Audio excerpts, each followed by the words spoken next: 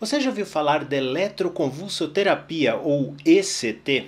Esse é o procedimento sobre o qual muitas pessoas têm dúvida. Fique atento, pois esse é o assunto desse vídeo.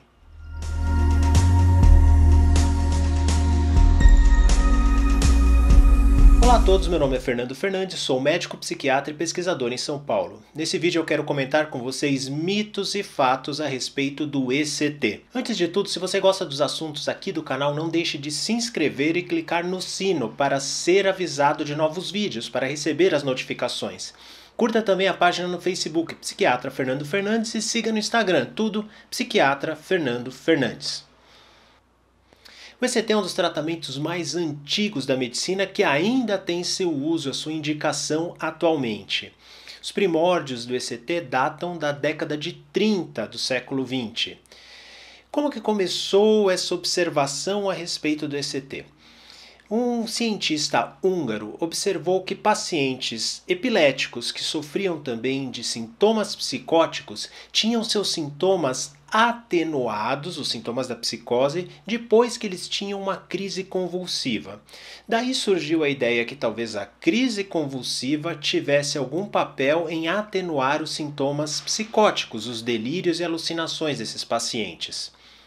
Mais para frente, dois pesquisadores italianos tiveram a ideia de induzir a crise convulsiva através de uma corrente elétrica no cérebro e observaram que realmente os sintomas psicóticos dos pacientes diminuíam muito depois que eles tinham a convulsão induzida por corrente elétrica. Muito bem, o ECT ele teve seu início de uso numa era pré-psicofarmacologia. O início do uso do ECT se deu na década de 30, Porém, os psicofármacos foram descobertos no final dos anos 50. Eles foram testados nos anos 60 e tiveram grande desenvolvimento dos anos 70 até os anos 2000 e continuam se desenvolvendo até hoje. Como que um tratamento da era pré-psicofarmacologia, ele até hoje tem indicação nas principais diretrizes de tratamento do mundo inteiro. Para que um tratamento se mantenha ao longo de tanto tempo tendo indicações precisas em diretrizes, é porque esse tratamento foi comprovado ao longo do tempo em eficácia e segurança. Nenhum tratamento se mantém ao longo do tempo se ele não tiver eficácia e segurança comparativamente aos novos tratamentos que foram surgindo. Poxa, quer dizer então que o ECT, um tratamento que teve o início do seu desenvolvimento nos anos 30, em eficácia e segurança, no mínimo ele se equivale aos tratamentos é, atuais? Sim, a resposta é: esse é o motivo pelo qual o ECT se manteve durante todo esse tempo. Vamos falar da eficácia do ECT na depressão, que é onde ela tem um papel central, sobretudo nos pacientes mais graves. A probabilidade que um paciente encontre a remissão, ou seja, deixe de apresentar depressão em duas semanas, é de 34%. Se estendermos esse tempo para quatro semanas, esse número chega a 75%. Então, se estivermos com um paciente que é bastante grave, tem risco de suicídio, está em inanição, está em catatonia, por exemplo, o ECT pode ser um tratamento excelente, porque ele é bastante eficaz e traz a melhora rápida. Então, um paciente que não pode esperar a melhora pode ter no ECT uma salvação. Um exemplo de paciente que precisa de uma melhora rápida é o paciente que está em risco de suicídio. Pacientes com ideação suicida precisam de uma melhora rápida por razões óbvias, pelo risco de um desfecho trágico da depressão, que é o suicídio. 38% desses pacientes têm uma melhora desse sintoma em uma semana, 61% têm melhora em duas semanas e 81% têm melhora até o final do tratamento. Então, olha só, nós estamos falando aqui de pacientes depressivos graves, muitas vezes que não responderam a medicações com ideação suicida, inanição, catatonia, por exemplo, que precisam sair desse quadro de uma maneira mais rápida possível, precisam de um resgate rápido. E o ECT tem um papel excelente nesses casos. Além da melhora mais rápida e potente na depressão, há outras indicações para o ECT além da depressão. Psicoses podem ser tratadas com ECT também sejam psicoses em transtornos psicóticos primários, né, como a esquizofrenia, por exemplo, ou seja, psicoses em outras condições, como no transtorno bipolar, por exemplo. Falando de uma maneira simples, o que seriam sintomas psicóticos? Seriam delírios e alucinações. Falando de uma maneira despretensiosa, sem entrar em questões conceituais mais abrangentes, seriam pessoas que têm delírios e alucinações. Elas têm os seus sintomas melhorados também com ECT de maneira rápida. Aliás, nos primórdios do uso do ECT, o teste da convulsioterapia foi em pacientes psicóticos. E o uso do ECT vai além dos transtornos psiquiátricos. O ECT pode ser usado na abordagem também de doenças neurológicas, como por exemplo a epilepsia refratária em alguns casos e alguns casos de doença de Parkinson. Muito bem, eu falei da eficácia. Agora precisamos falar da segurança, pois de nada adianta um tratamento ser muito eficaz se ele não for seguro e bem tolerado. Ao contrário do que reza o senso comum, o ECT é um tratamento altamente seguro e bem tolerado. Eu vou citar para vocês como exemplo comparativo um exame que muitos de nós já fizemos, nossos familiares ou nossos amigos. Muitas vezes a gente deu uma carona para alguém que foi fazer um exame como esse, que é endoscopia. Nós vemos até, eu que sou médico posso dizer, nós vemos até pessoas que pedem para fazer endoscopia o ECT chega a ser 10 vezes mais seguro quanto às complicações do que uma endoscopia digestiva alta. Hoje em dia, todos os procedimentos de ECT são feitos com anestesia e o uso de relaxantes musculares. Portanto, aquela convulsão que antigamente acontecia do ponto de vista motor, ela não acontece mais. Como assim? Mas o tratamento não é eletroconvulsoterapia? Como que a convulsão não acontece mais? Ela não acontece mais do ponto de vista motor, mas ela acontece do ponto de vista cerebral. E ela pode ser detectada através do eletroencefalograma. Com isso, tem-se o efeito terapêutico da convulsão do ponto de vista neurológico, mas não existe mais a convulsão do ponto de vista motor. Trata-se, portanto, de um procedimento extremamente seguro. E quais são, de fato, os efeitos colaterais relacionados ao ECT atualmente? Bom, há os efeitos colaterais que são da anestesia. O paciente acordar com determinado torpor, com uma desorientação, uma certa confusão. Isso pode acontecer em qualquer anestesia. Quais seriam os efeitos mais específicos do ECT? Dor de cabeça, um pouco de dor muscular, normalmente totalmente manejável por medicações ou mesmo sem medicações, e a amnésia. A amnésia normalmente é uma amnésia que nós chamamos anterógrada. Ela não é para fatos do passado. As sessões de ECT normalmente elas acontecem três vezes por semana e um paciente que é encaminhado para o tratamento, em geral, ele leva aí de 8 a 12 sessões de ECT. Fatos ocorridos durante a vigência do tratamento com ECT podem ser esquecidos pelo paciente. Essa amnésia normalmente ela regride espontaneamente ao longo das semanas e raramente ela permanece ao longo dos meses. Então é um efeito colateral que nós chamamos benigno. Raramente essa amnésia acontece para fatos do passado. E mesmo para fatos do presente ou do passado, raramente ela se mantém semanas ou meses depois do tratamento.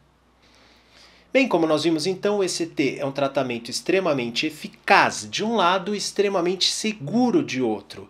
Esses são os motivos para o ECT se manter em todas as principais diretrizes de tratamento dos transtornos psiquiátricos. Obviamente, as diretrizes indicam casos nos quais o ECT pode ser útil. Na depressão grave, refratária ao tratamento por remédios, na depressão com ideação suicida, inanição, catatonia, por exemplo, nas quais uma melhora rápida ela é muito importante. Em casos de psicose com ideação suicida com risco de suicídio, em casos de mania, por exemplo, nos quais a melhora rápida ela é necessária enquanto os remédios agem.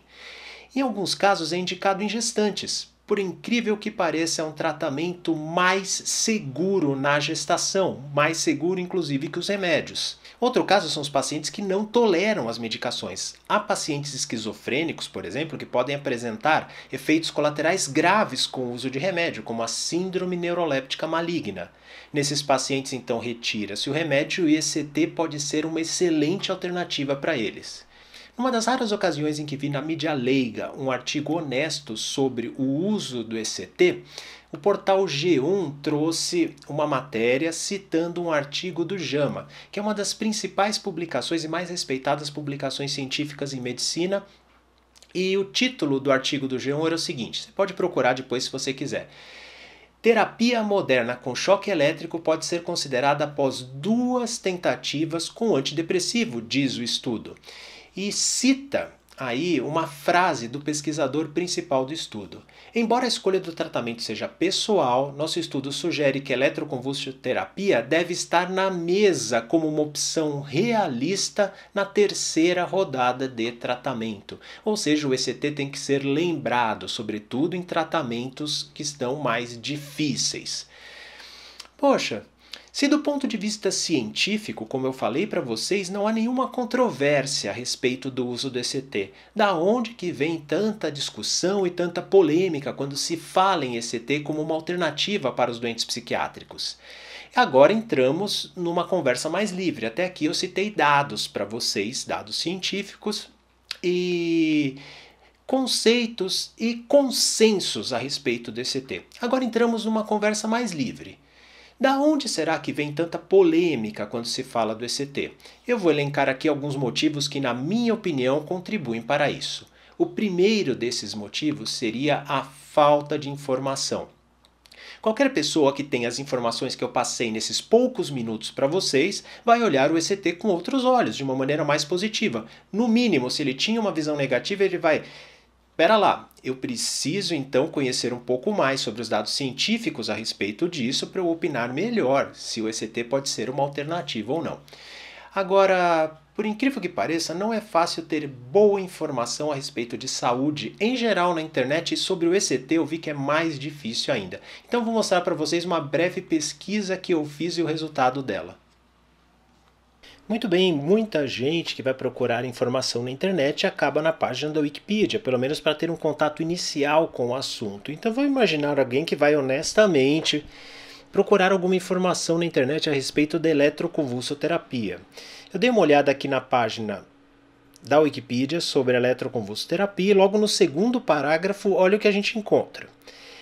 É uma técnica bastante polêmica e controversa. Bem, polêmica e controvérsia nenhuma científica. Né? Qualquer polêmica ou controvérsia é extra dados científicos. Até aí tudo bem, mas olha só, que já caiu em desuso em vários países devido aos efeitos colaterais que geralmente são muito profundos. Não, não, os efeitos colaterais eles não são graves. Os efeitos colaterais em geral são benignos, manejáveis com medicação muitas vezes não acontecem, mesmo a amnésia, que é um efeito colateral comum, ela normalmente não persiste ao longo das semanas. Né? Então, é uma informação aqui que não, não, não é real. Mas o pior vem agora. Os resultados positivos dessa técnica são muito questionados. Não, se há uma coisa que não é questionado, são os resultados positivos. É considerado o tratamento mais eficaz em alguns casos de depressão. Casos que apresentam risco, como inanição, ideação suicida, catatonia, é uma técnica muito eficaz. Quanto à eficácia da técnica, os resultados positivos, não há questionamento nenhum, só foram sendo acrescentados dados né, ao longo das décadas. Esses resultados foram confirmados ao longo das décadas. É uma técnica que tem quase 100 anos de existência, isso é verdade, ser indicada até hoje é porque ela tem valor. E muitas outras técnicas modernas são muito mais eficazes. Mentira e com efeito mais duradouro. Mentira sem deixar sequelas e sem efeitos colaterais. Aqui dá a entender que o ECT deixa sequelas, né? O ECT não deixa sequelas e os efeitos colaterais a gente já comentou bastante. Então, como você pode ver, mesmo uma pessoa que queira buscar informação por conta própria na internet, internet de uma forma honesta, de uma forma isenta, eu quero encontrar informação a respeito, acaba encontrando desinformação numa página muito acessada né, por quem quer buscar informação, como a Wikipedia. Na minha opinião, o segundo motivo que faz com que as pessoas tenham preconceito contra o ECT é o antigo método de aplicação. Antigamente o ECT ele era aplicado sem anestesia e sem uso de relaxantes musculares, com isso a pessoa de fato tinha uma convulsão em cima do leito, semelhante a um ataque epilético, e ele tinha que ser contido por faixas ou pela própria equipe de aplicação do ECT. Essa era uma cena um tanto quanto aversiva, principalmente para quem não estava acostumado a ver. E acreditar que o ECT ainda acontece dessa forma traz alguma resistência aí por parte das pessoas, mas não é assim que acontece atualmente.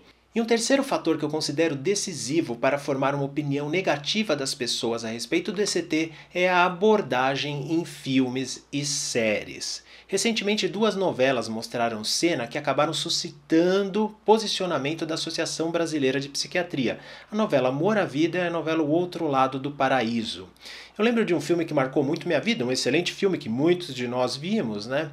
O título em português era Um Estranho no Ninho, com Jack Nicholson, que mostra também cenas de ECT. É, na filmografia nacional, por exemplo, Bicho de Sete Cabeças, que foi o filme que lançou o Rodrigo Santoro aí ao estrelado, mostra também cenas de ECT de maneira indevida. Olha, e eu poderia relacionar aqui dezenas e dezenas de filmes de diversos países, de diversos gêneros, abordando o ECT de maneira inadequada. Isso reforça muito o preconceito contra o método. E o que eu estou falando aqui poderia ser uma mera opinião minha. Olha, filmes e séries abordam o ECT de forma errada e negativa. Porém, a gente tem dados objetivos sobre isso. Um estudo americano interessantíssimo foi atrás de filmes e séries nas quais o ECT, cenas com ECT apareciam. De uma série de filmes e séries, ele totalizou 82 cenas com ECT. Dessas 82 cenas, ele separou alguns dados interessantes. Qual foi a indicação do ECT? Será que as indicações foram corretas? Foram para coisas reais? Por exemplo, 17% das indicações nas cenas foram para depressão. Ok, depressão é uma indicação. 25,6% das cenas foram para tratar psicoses. Também é uma indicação correta. Mas dá uma olhada nas indicações. 12,2% das indicações foram para correção de comportamento. Não existe essa aplicação do ECT. O ECT não é usado para correção de comportamento. 13,4% das cenas foram para tortura. O ECT como método de tortura seria extremamente ineficaz, porque a pessoa fica inconsciente e ela se esquece da aplicação do ECT. Então essa aplicação é extremamente fantasiosa, mas ela é reforçada porque, de fato, a eletricidade pode ser usada para tortura. Isso aparece inclusive em filmes. Mas o ECT, ele não simplesmente não tem sentido de ser usado como método de tortura. Mesmo assim, ele aparece como método de tortura.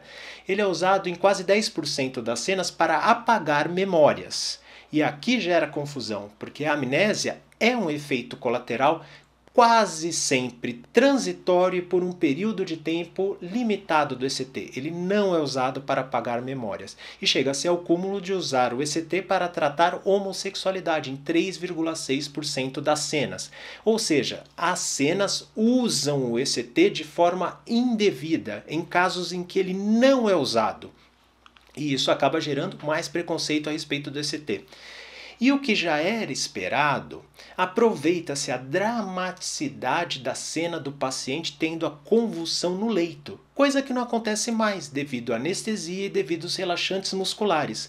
No entanto, 72% das cenas acontecem sem anestesia e sem uso de relaxantes musculares, ou seja, mostra-se de uma maneira dramática a convulsão acontecendo. E é lógico que isso impacta negativamente a opinião das pessoas a respeito do procedimento. Alguém pode achar que ser influenciado por filmes e séries é coisa de pessoas menos instruídas, coisas de pessoas mais simples e mais influenciáveis. Isso não é verdade, eu diria até que isso é um preconceito nosso. Eu achei um estudo interessantíssimo que avaliou quase 100 estudantes de medicina, metade nos Estados Unidos, metade na Austrália, ou seja, estudantes de medicina de países desenvolvidos. E abordou exatamente o impacto que essas mídias têm na visão que eles têm sobre o ECT.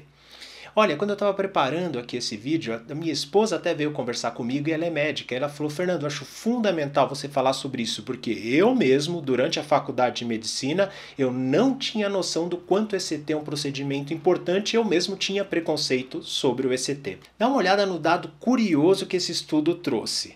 Aproximadamente um terço desses estudantes confessaram, que para mim é uma confissão, que esses clipes influenciaram negativamente na compreensão que eles tinham a respeito do ECT. Aproximadamente metade deles diziam que diminuíram seu suporte ao uso do ECT, o seu apoio ao uso do ECT, depois de verem esses clipes. E olha só que curioso. Quando perguntados se eles indicariam o ECT para um familiar ou um amigo próximo depois dos tratamentos usuais não terem funcionado, 49 deles disseram que sim antes de ver os clipes. 40% disseram que sim depois de ver os clipes. Ou seja, quase 10% mudou de opinião depois de ver esses clipes.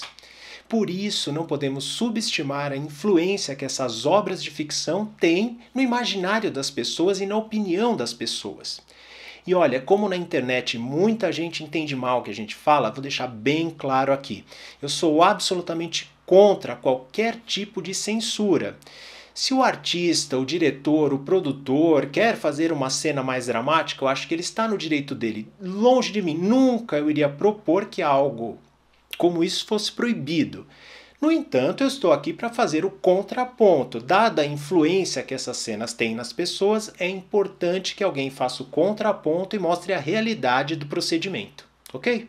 Muito obrigado por ter assistido esse vídeo, espero que tenha sido útil para você. Se você gostou, deixe o seu like e compartilhe para que a informação alcance mais pessoas. Novamente obrigado e até um próximo vídeo.